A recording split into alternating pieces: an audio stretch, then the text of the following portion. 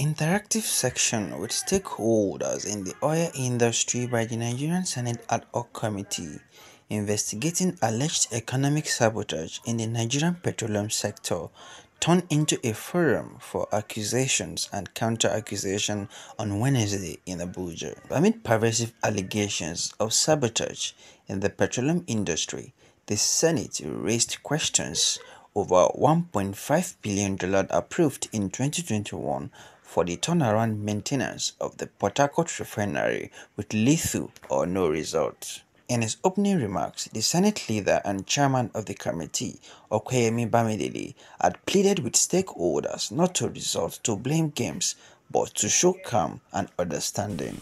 You will agree with me that this is truly a challenging period in the recent history of our fatherland.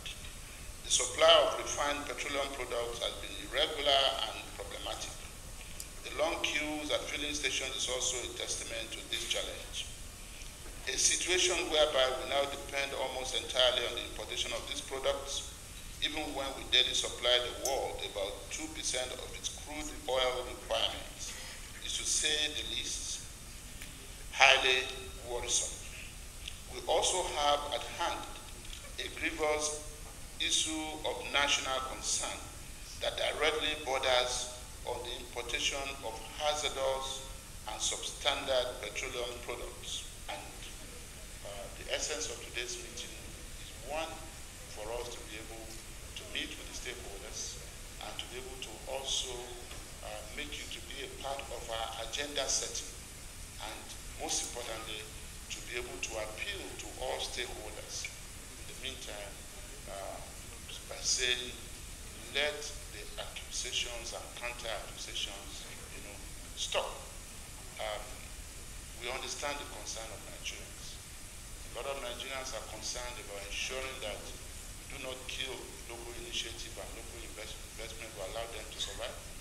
Just like a lot of Nigerians are also concerned about ensuring that we do not consciously inaugurate a monopoly, know, uh, which will not serve overriding public interests and which will not be consistent with global best practice standards. All these are issues. But in the meantime, while we work with you to address all of this, we call on all our stakeholders.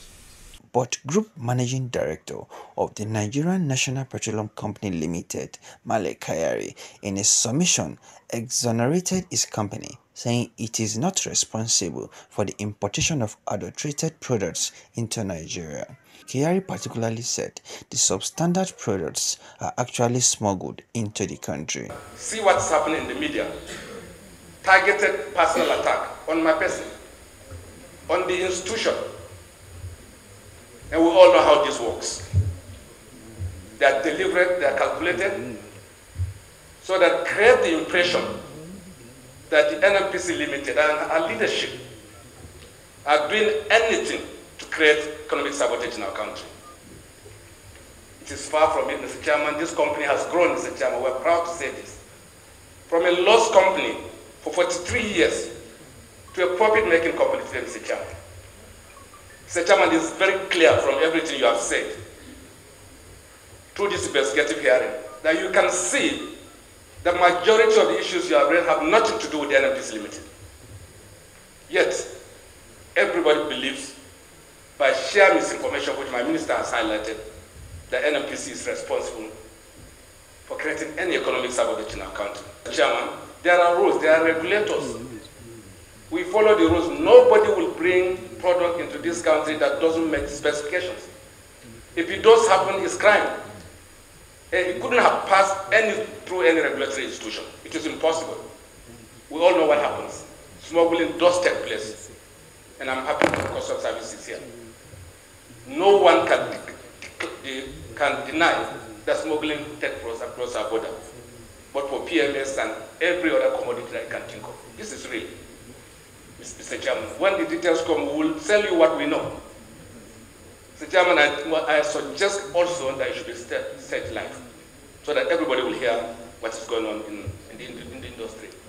There is a commitment to dealing with these issues, and the focus also remains uh, in the oil and gas industry in improving incentives. Already, Mr. President has signed some executive orders which have meant that oil and gas investments, particularly in the gas sector, have started to flow back.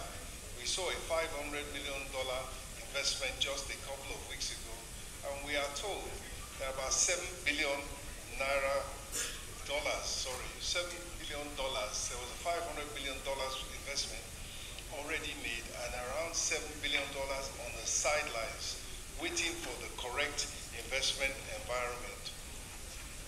The outlook for oil prices for the rest of this year beyond is uh, positive, is strong.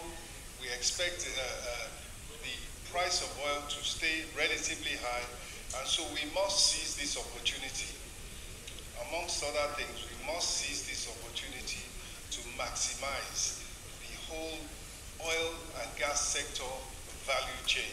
We are committed as a country you know, ensuring that we complete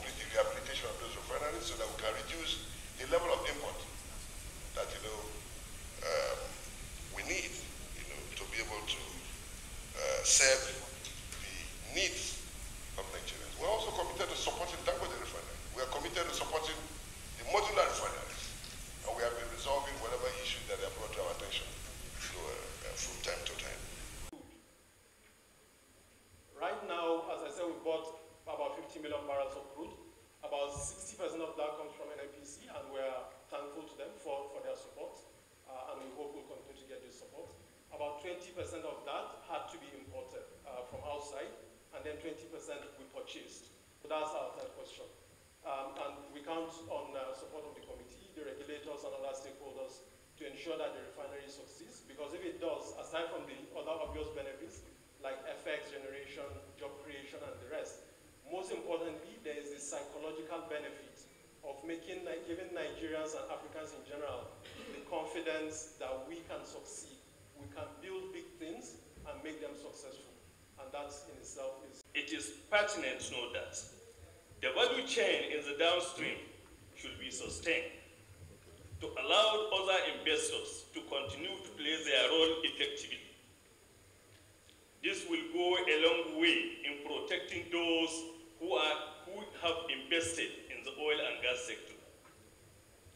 IPMAN as a body, sir, would like to use this medium to solicit the support of the Senate to ensure that there is a level playing ground in this sector of the economy by ensuring that the refineries, storage facilities owners, and IPMAN that have the retail outlet should not be distorted by allowing monopoly to set in.